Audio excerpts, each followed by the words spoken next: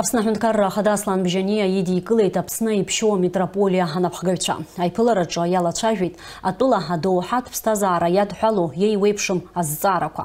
Ихадараны иалкаан аԥсуа уахәама ԥхьаҟатәи алахьынҵа. Аеромонах аб Дараҭ иажәақәа рыла ари аҭагылазаашьа алҵразы мҩакоуп иибо. Абри азҵааразы аинтерес змоу аганқәа зегьы алархәны аиаша ҟаҵаратә комиссиа аԥҵара. Иара убас иалацәажәеит аҭоурыхтә қьырсиантә баҟақәа рыхьчара иад иадҳәалаз азҵаатәы. Сааҭк инеиҳаны ицон ари аиԥылара.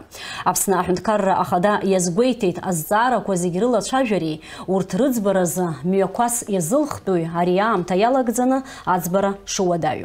Обсудить различные вопросы и найти возможные пути их решения с главой государства. Такая возможность есть у каждого жителя республики. Сюда, в администрацию президента, приходят люди с различными просьбами. Уже с утра здесь многолюдно. К 10 часам в приемной на первом этаже собрались более 20 человек. Граждане проходят регистрацию и занимают место в очереди. У каждого из этих людей своя история, свои проблемы, а самое главное – надежда на скорейшее их решение. Большая часть обращений касается решения экономических и социальных вопросов, а также вопросов трудоустройства и даже религиозных тем. На прием к Аслану Бжане пришли и священнослужители Новоафонского монастыря. На встрече с президентом они обсудили несколько важных тем, касающихся духовной жизни страны. Одна из них – дарование Абхазии автокефалии, то есть воссоздание Абхазской православной церкви. Это вопрос очень сложный, непростой. Э, здесь очень много подводных э, значит, течений, да, и безусловно, когда мы об этой теме говорим, прежде всего возникает вопрос выхода из состава грузинской церкви, да, потому что все православные церкви в мире сегодня нас признают частью э, грузинской православной церкви. И мы должны сделать все возможное и убедить главным образом международное православное сообщество, что уже прошло 27 лет, нужно по-новому на этот вопрос посмотреть. У нас уже есть новое свое государство на новом этапе нашей новейшей истории, а, соответственно, остальные вопросы тоже должны соответствовать да, реальному сегодняшнему положению. Нельзя смотреть на абхазский церковный вопрос глазами э, дореволюционного человека или средневекового человека. Тогда были другие реалии. Сегодня мы живем в 21 веке.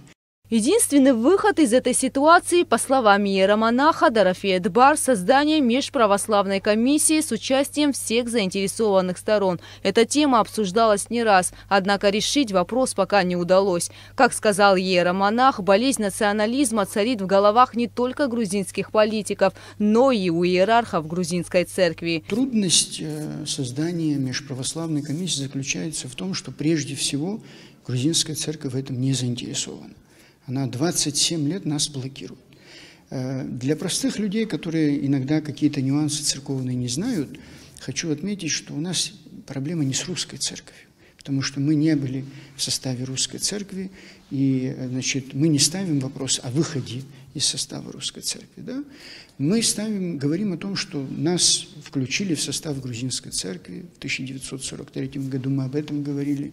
И включили по непосредственному влиянию тогда Сталина и грузинского руководства, которые и тогда защищали в советское время, в том числе религиозные свои интересы. И поэтому мы ставим вопрос, значит, что вот грузинская церковь – главный источник нашей сегодняшней проблемы. По словам иеромонаха Дорофея, президент Аслан Бжани отнесся с пониманием к их позиции. Мы не ставили целью, что вот сегодня нам нужно решить все существующие проблемы или трудности. Это невозможно. Мы же это прекрасно понимаем. Да?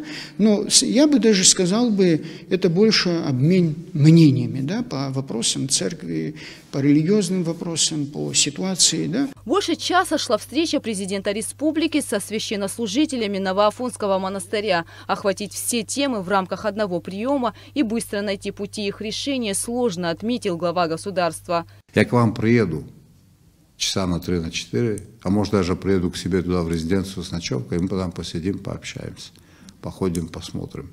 Я просил бы вас не спешить. Религиозная тема была одной из многих, которую сегодня граждане республики пришли обсудить с главой государства. В приемный день с различными просьбами к президенту республики приходит более 50 человек.